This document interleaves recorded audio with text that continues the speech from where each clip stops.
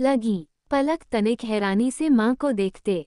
फुसफुसा कर बोली, माँ, आपके स्वाभिमान को ये गंवारा होगा। सी, बेटा, मेरा स्वाभिमान तो आज भी अपनी जगह है। पर पति हर स्त्री का अभिमान होता है, उसे कैसे वापस कर दूँ? पलक दौड़कर अपनी माँ के गले से लिपट गई। स्वनसिधा के मान ने सबको जीवन की नई खुशियों से भर दिया था। हरगिज नहीं, मैं रिया। को अभी सब कुछ बता दूँगी। वो भले ही तैयार हो जाए पर मैं तैयार नहीं हूँ ऐसी ज़िंदगी के लिए। आशुतोष ने बिफरते हुए एकाएक स्मिता को चांटा। मारने के लिए हाथ उठा लिया तो स्मिता चौंक गई। आशुतोष उसे धमकाते हुए बोला, खबरदार जो, इस विषय में तुमने रिया से कोई बात की। तुम्हारे लिए अंजाम अच्छा न होगा, मैं कुछ भी कर सकता हूँ। उसका ये रूप देखकर स्मिता में न जाने कहाँ से हिम्मत हो, ये शौक भी पूरा कर लो। पैसे की हवस ने तुम्हें अंधा बना दिया है। मुझे ये सोचकर शर्म आती है कि मैं तुम्हारी पत्नी हूँ। बस आज के बाद से हमारा कोई संबंध नहीं है। उसी क्षण स्मिता ने अपना सामान समेटा व सहमी, हुई पलक का हाथ थामे वापस एयरपोर्ट की तरफ़ निकल गई। रिया तब तक बाहर नहीं आई। थी, आशुतोष ने उसे रोकने की कोई चेष्टा नहीं की। चुपचाप उसे जाते देखता रहा। आते समय स्मिता के मन में जितनी उमंग व उत्साह था, वापसी का सफ़र उतना ही कष्टप्रद था।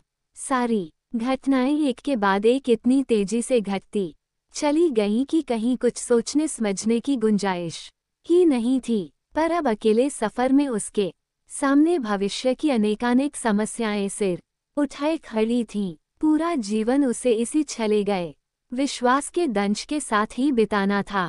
नन्ही, पलक का क्या गुनाह था जो उसे पिता के प्यार से वंचित रहना पड़ेगा? क्या उसे आशुतोष के साथ उन्हीं परिस्थितियों में समझौता करके ज़िंदगी गुजारनी चाहिए थी? तुरंत उसके दिल से आवाज़ आई, हरगिज नहीं।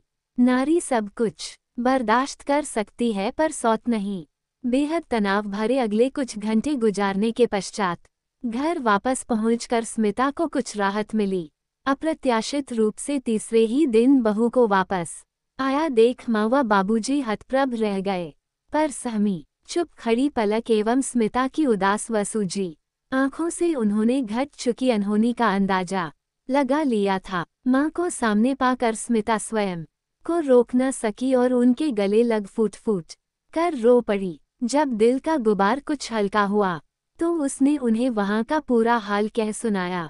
सारी बात सुनकर बेटे की नालायकी से माम बाप को गहरा आघात पहुँचा था, पर अपनी पीड़ा भूल कर उन्होंने स्मिता को सांत्वना देते हुए कहा कि वे सब ठीक करने की कोशिश करेंगे। अब क्या ठीक होगा माँ? बचा ही क्या है? मैं उन पर जबरन कोई रिश्ता थोपना नहीं चाहती। वे यदि इसी में खुश हैं तो यही सही कहकर स्मिता अंदर चली गई। स्मिता के पहुँचने के अगले ही दिन आशुतोष का फ़ोन आया। रिसीवर उसके पिता ने ही उठाया था। पिता द्वारा समझाए जाने पर जब उसने खुद को सही ठहराने का प्रयास किया और साल डेढ़ साल बाद उन्हें अपने पास बुला लेने के लिए कहा तो उन्होंने उसे कड़ी फटकार लगाते हुए यहाँ तक कह दिया कि आज से वे सोच लेंगे कि उनका एक ही बेटा है और स्मिता भी अब उनकी बहू नहीं बल्कि बेटी है। वे स्वयं उसकी दूसरी शादी करवाएँगे पर स्मिता ने दृढ़ स्वर में इसे नकार दिया नहीं बाबूजी, मुझे नहीं करनी है दूसरी शादी। एक गलती उन्होंने की है अब मैं दूसरी नहीं करना चाहती। बस आप लोगों की छत्र छाया बनी रहे। मेरी ज़िंदगी का लक्ष्य अब केवल मेरी बेटी का भविष्य होगा। मुझे और कुछ नहीं चाहिए। ज़िंदगी फिर इतनी आसान नहीं रह गई थी। कॉलेज की लेक्चरशिप तो उसने तुरंत ही ज्वाइन कर ली थी। नौकरी अब उसके लिए शौक नहीं, वरन एक ज़रूरत बन गई थी। मुश्किलों के इस दौर में भी उस ने हिम्मत नहीं हारी और वक्त के इम्तिहान में हर चुनौती का सामना पूरे आत्मविश्वास के साथ किया। उसके साथ घटी बात की जानकारी केवल उसके चंद मित्रों व परिवार तक ही सीमित थी। अंजलि ने इस कठिन वक्त में स्मिता को एक सच्चे दोस्त की तरह मानसिक संबल दिया। कॉलेज में सबकी अपेक्षाओं पर खरी उतरती स्मिता ने घर में भी सारी जिम्मेदारियाँ बिना कहे ही संभाल ली। घर में भी सारी जिम्मेदारियाँ बिना कहे ही संभाल ली थी। माम बाबूजी के मार्गदर्शन में अभिजीत का विवाह एक सुशिक्षित एवं सुशील युवती, कविता से तय करके बड़ी धूमधाम के साथ संपन्न कराया। माम बाबूजी दोनों बहुओं की तारीफ़ करते नहीं थकते थे। कतरा कतरा होती ज़िंदगी सप्रयत्न सहेज स्मिता। सारा दिन स्वयं को अनेकानेक जिम्मेदारियों के निर्वाह में व्यस्त रखती, परंतु कभी भी नहीं। पलक जब अपने पापा की याद में हुड़कती तो उस पल को झेलना उसे सर्वाधिक दुष्कर लगता। ऐसे में उसे परिवार वालों का भरपूर सहयोग मिलता। कभी उसके चाचा चाची जिन्हें पलक छोटे पापा व छोटी माँ कहती थी तो कभी उसके दादा दादी जिन्हें वह बड़े पापा व बड़ी माँ कहती थी, अपनी अपनी तरह से उसे बहलाने का प्रयत्न करते थे। स्मिता भी अपनी तरफ़ से उसे माँ बाप दोनों का प्यार देने का पूरा प्रयास करती थी। धीरे धीरे समय अपनी रफ्तार से गुजरता रहा। अभिजीत का ट्रांसफ़र दूसरे शहर में हो गया। दिन महीनों में व महीने सालों में बदलते रहे। वसंत व पतझड़ एक के बाद एक आते रहे। लंबी बीमारी के बाद ससुर का निधन होने पर घर में सब दुख से भर उठे। आशुतोष ने खबर पहुँचने के बाद भी मात्र संवेदना कार्ड भेज कर ही अपने कर्तव्य की इतिश्री समझ ली। बेटे की हृदय विदारक उपेक्षा का दुख माँ को गहरा आघात दे गया था, जिसे वे साल भर से ज़्यादा नहीं झेल पाई और चल बसी। स्मिता एक तरह से बिल्कुल अकेली रह गई। थी। नाते रिश्तेदार भी संवेदना व्यक्त करके अपने अपने घर जा चुके थे। किशोर होती बेटी व बढ़ती। जिम्मेदारियाँ। कभी भी वह बेहद थक जाती। थी पर फिर नए सिरे से जीवन समर में जूझने के लिए स्वयं को तैयार कर सजग प्रारी सी उठ खड़ी होती। उम्र के हर पड़ाव पर पलक को स्मिता का पूरा मार्गदर्शन मिला। हर कक्षा अव्वल नंबरों से उत्तीर्ण करती हुई पलक।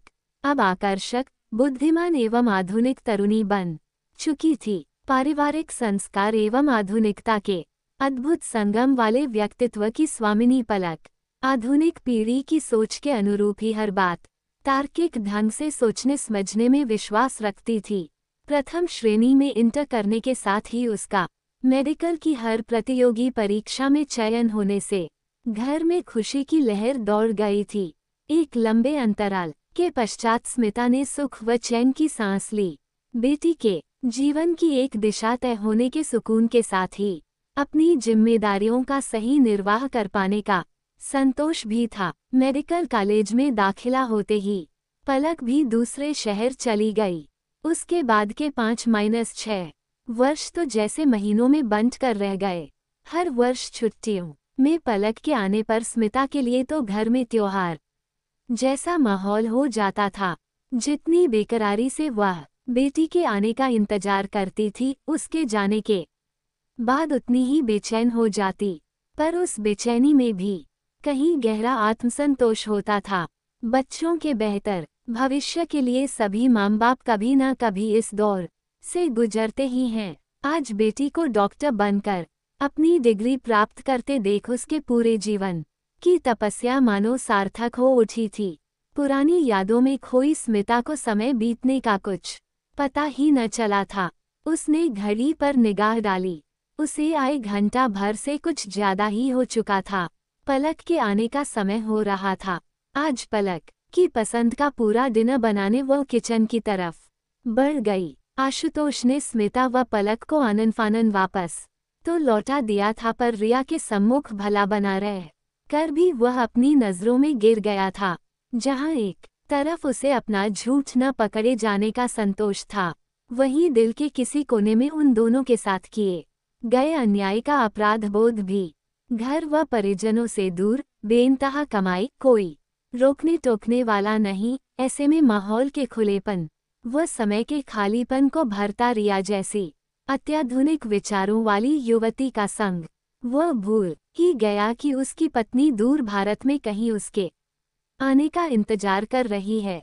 छोटी सी बेटी बात जो रही है। रिया के डैडी के उच्च सामाजिक रुतबे।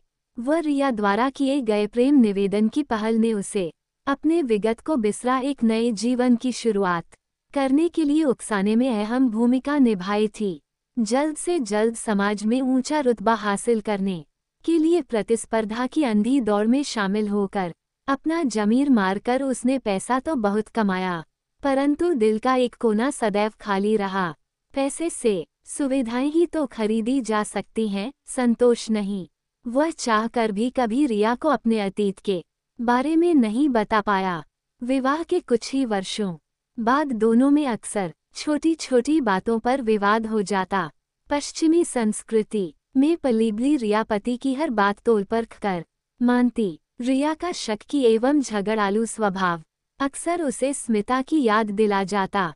तब पछताने के अलावा वह कुछ न कर पाता। उसे हैरानी भी होती थी कि रिया के स्वभाव का ये शक्कीपन वह पहले क्यों नहीं महसूस कर पाया। माता पिता के न रहने का दुखद समाचार पाकर भी कुछ तो। रिया की गिरती सेहत व कुछ अपने काम के बोझ। तले दबा वह भारत जाने की हिम्मत ही नहीं जुटा। पाया, रिया के स्वास्थ्य संबंधी टेस्टों की रिपोर्ट देखकर तो उसके पैरों तले ज़मीन ही खिसक गई थी। कैंसर के बेरहम पंजों में दबी वह धीरे धीरे मौत के मुँह में जा रही थी। आशुतोष ने उसके इलाज में कोई कसर नहीं छोड़ी। महँगी से महँगी दवाओं तथा अत्याधुनिक तकनीकों के सहारे उसे ज़िंदगी के कुछ वर्ष और मिल गए। उन्हीं दिनों अचानक आशुतोष से मिलने एक आकर्षक नवयुवक उस के घर पहुँचा। अपने भतीजे को पहचानने में उसे अधिक देर नहीं लगी। उसे देखते ही आशुतोष ने उसे गले लगा लिया। बिल्कुल उसके छोटे भाई का ही तो प्रतिरूप था रोनित, जिसे सामने देखना, जाने कितनी भूली बिसरी यादें ताज़ा हो आई थीं। बचपन से अपने पिता के मुँह से उनके बड़े भाई की बातें गाहेब गाहे सुनते बड़ा हुआ रोनित कनाडा।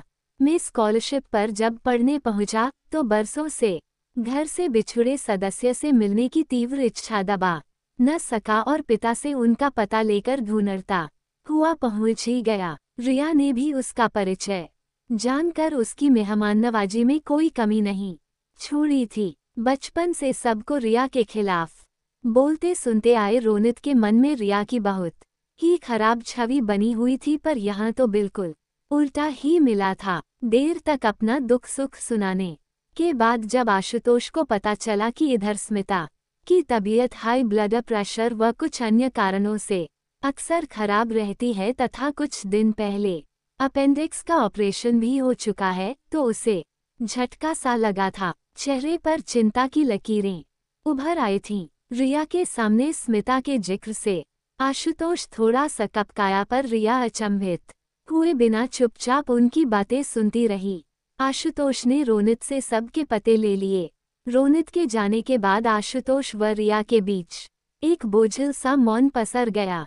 आशुतोष को हैरानी हो रही थी कि रिया ने उसके अतीत की सच्चाई जानने के बाद भी उससे कोई प्रश्न क्यों नहीं किया। अनुतरित प्रश्नों के भावर से घिरे। आशुतोष ने आखिर इस सन्नाटे को तोड़ते हुए कुछ कहना शुरू किया ही था कि रिया ने अपने निर्बल हाथ से उसकी कलाई पकड़कर उसे रोकने का उपक्रम किया तो वह चौंक गया। उसे रिया की आवाज़ सुनाई पड़ी, आशु, तुम हैरान होगी कि मैंने तुम्हारे अतीत के बारे में जानकर भी तुमसे कोई प्रश्न क्यों नहीं किया। दरअसल, मैं खुद तुम्हें बताना चाहता था पर बस अब कुछ नहीं बोलो मेरी सुनो। सच तो यह है कि शादी के कुछ वर्षों बाद ही मैं तुम्हारी पहली शादी के बारे में जान गई थी। जब स्मिता जी यहाँ आई थी तब तो मैं उन्हें नहीं जानती थी, पर काफ़ी दिन बाद हमारी मेद सर्वेट चीना ने मुझे उनके बारे में बताया था। उस दिन उसी ने उनको अटेंड किया था। अतः बातों बातों में वह उनका परिचय जान गई थी। तुम्हें खो देने के डर से न चाहते हुए भी मैं तुमसे कुछ पूछ नहीं पाई। सोचा, जैसे चल रहा है चलने दूँ। उनका ध्यान आने पर कहीं तुम वापस न चले जाओ। पर तुम्हारे अतीत की जानकारी ने मुझे तुम्हारे प्रति शक्की बना दिया था। तुम्हें प्यार करते हुए भी तुम पर मैं विश्वास न कर सकी। साथ ही चाहते हुए भी स्मिता दीदी से कभी माफ़ी न मांग पाए तुम इंडिया जाकर मेरी तरफ़ से उनसे क्षमा ज़रूर मांग लेना। अनजाने में ही सही, मैं उनकी गुनाहगार। तो हूँ ही। आशुतोष केवल इतना ही कह सका, तुम्हें मुझे बताना तो चाहिए था। तो क्या तुम्हें नहीं बताना चाहिए था? उस समय। शायद हम दोनों ही अपने अपने स्वार्थ में अंधे हो गए थे। तुम्हें खो देने के डर से मेरे होंठ सिले रहे। पर आज जब ज़िंदगी मुझसे दामन छुड़ाने लगी है मुझे एहसास हो रहा है कि हमने स्मिता के खलनायक क्या हो पाई कविता और गौरव की शादी। विवाह की दसवीं वर्षगांठ के निमंत्रण पत्र छाप कर अभी अभी आए थे। कविता बड़े चाव से उन्हें उलट पलट कर देख रही थी। साथ ही सोच रही थी कि जल्दी से एक सूची तैयार कर ले और नाम, पते लिखकर इन्हें डाक में भेज दे। ज़्यादा दिन तो बचे नहीं थे। कुछ निमंत्रण पत्र स्वयं बांटने जाना होगा, कुछ गौरव अकेले ही देने जाएँगे। हाँ कुछ कार्ड ऐसे भी होंगे जिन्हें लेकर वह अके जाएगी। सोचते सोचते कविता को उन पंडित जी की याद आई जिन्होंने उसके विवाह के समय उसके मांगलिक होने के कारण इस विवाह के असफल होने की आशंका प्रकट की थी। पंडित जी के संदेह के कारण दोनों परिवारों में उलझने पैदा हो गई थीं। ताईजी ने तो अपने इन पंडित जी की बातों से प्रभावित होकर कई पूजा पाठ करवा डाले थे। एक एक करके कविता को अपने विवाह से संबंधित सभी छोटी बड़ी घटनाएँ याद आने लगीं। कितना तनाव सहा था उसके परिवार वालों ने। विवाह के माह पूर्व उस समय यदि गौरव ने आधुनिक एवं तर्कसंगत विचारों से अपने परिवार वालों को समझाया बुझाया न होता तो हो चुका था यह विवाह। कविता को जब गौरव उसके माता पिता एवं ताईजी देखने आए थे तो सभी को दोनों की जोड़ी ऐसी जंची की पहली बार में ही हाँ हो गई। गौरव के पिता नंद किशोर का अपना व्यवसाय था अच्छा खासा पैसा था। परिवार में गौरव के माता पिता एक बहन और एक ताईजी थी। कुछ वर्ष पूर्व ताऊजी की मृत्यु हो गई थी। ताईजी बिल्कुल अकेली हो गई थी। उनकी अपनी कोई संतान न थी। गौरव और उस की बहन गरिमा ही उनका सर्वस्व थे। गौरव तो वैसे ही उनकी आँख का तारा था। बच्चे ताईजी को बड़ी माँ कहकर पुकारते और उन्हें सचमुच में ही बड़ी माँ का सम्मान भी देते। गौरव के माता पिता भी ताईजी को ही घर का मुखिया मानते थे। घर में छोटे बड़े सभी निर्णय उनकी सम्मति से ही लिए जाते थे। जैसा कि प्रायः होता है, लड़की पसंद आने के कुछ दिन पश्चात छोटी मोटी रस्म करके रिश्ता पक्का कर दिया गया। इस बीच गौरव और कविता कभी भार एक दूसरे से मिलने लगे। दोनों के माता पिता को इसमें कोई आपत्ति भी न थी। वे स्वयं भी पढ़े लिखे थे और स्वतंत्र विचारों के थे। बच्चों को ऊँची शिक्षा देने के साथ साथ अपना पूर्ण विश्वास भी उन्होंने बच्चों को दिया था।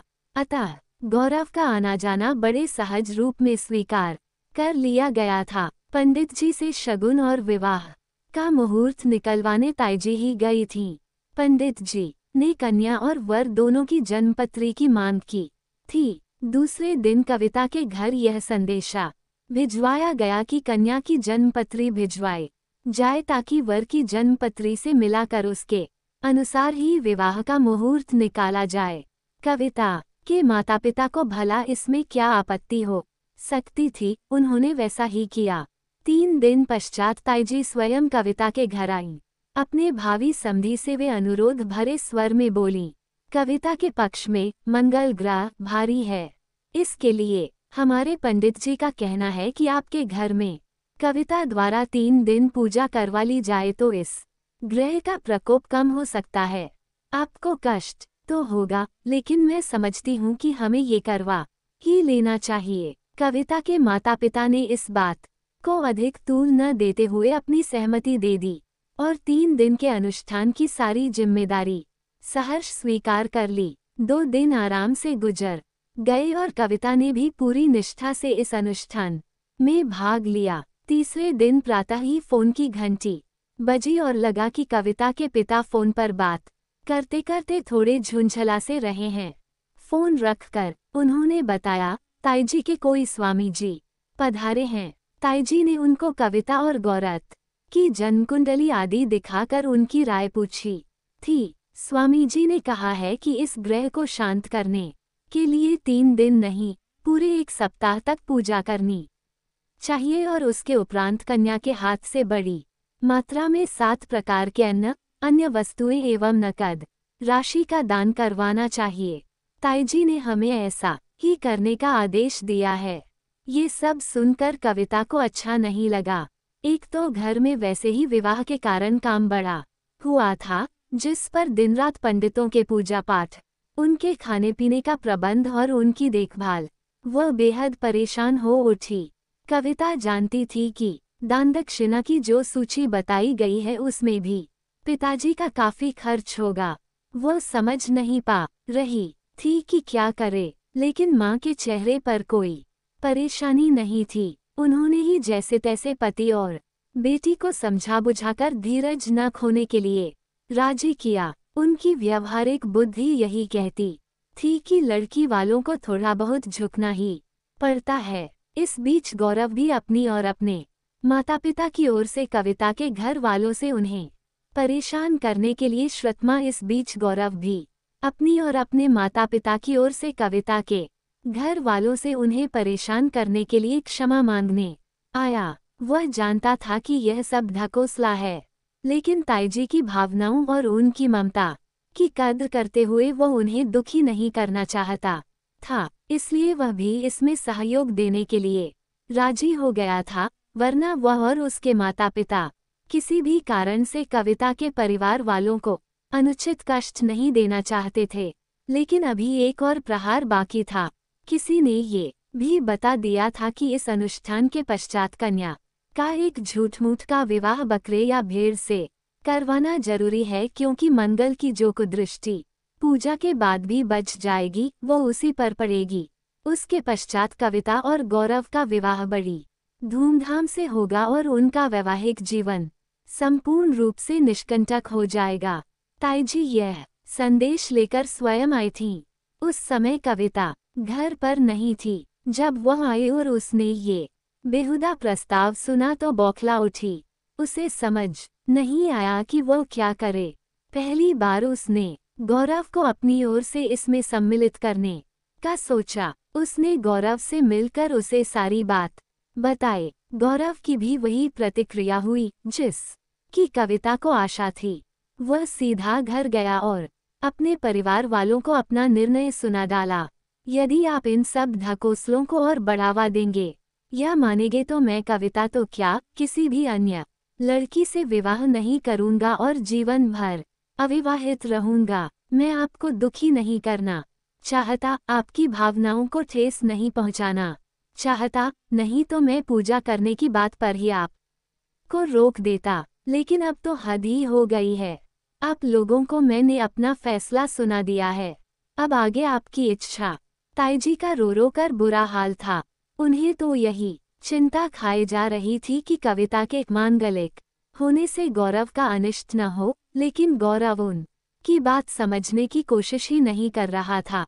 उसका कहना था, ये झूठ मूठ का विवाह कर लेने से कविता का क्या बिगड़ जाएगा? उधर कविता को भी गौरव ने यही पट्टी पढ़ाई थी कि तुम पर कैसा भी दबाव डाला जाए, तुम टस से। मज न होना, भले ही कितनी मिन्नतें करें, ज़बरदस्ती।